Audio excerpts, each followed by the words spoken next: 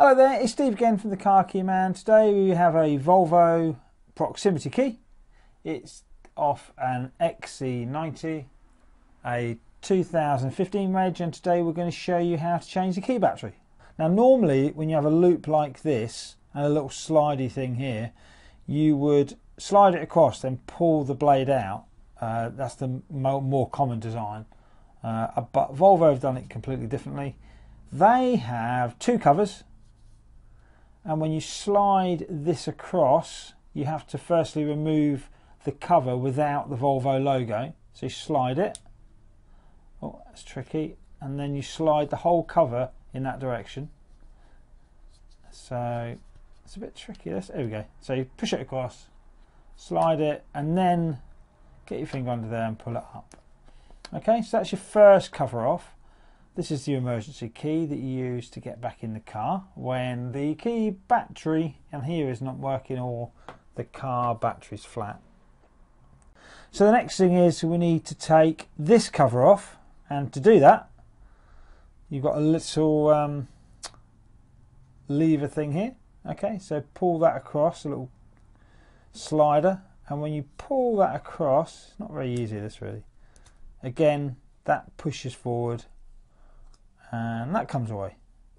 So now we have both sides off. The Volvo the one that's just come off goes to the battery. And here we have the battery cover. And as you can see here it says 12032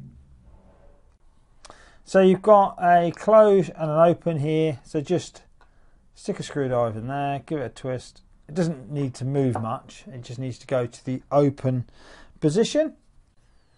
So once you've got it turned to the open position there's it's just a case of really there's a little gap there to stick something in. And then it's just a case of gently getting the cover off. It's not very good Mr Volvo to be fair. I don't know what you've done here. Right here we go. So now we've got that off. And like I say it's a 2032 okay so we're going to pop the key battery out of here. Just pop a little pokey or something under there. Key battery comes out nice and easy. Here's our replacement. And we're going to slide that in there under these two tabs. These are the two tabs that it slides underneath. So careful not to break them. Slide it under. And then you need to put your battery cover back on and you need this little arrow here. Lines back up with the open and that should just push down. And then don't forget to just give it a little twist. It's only a tiny little bit really.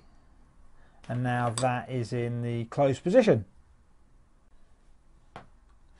So now we're going to put the cover back on. Remember the logo side goes to the battery side.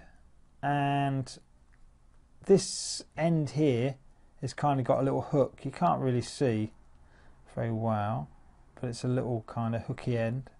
And that hooks over this end here. So away so there's the keyring put it up the other end. Hook it over. And then you simply push that down and that clicks into place. Okay.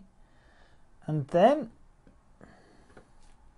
you take the other cover again it's kind of got a hooky edge to it.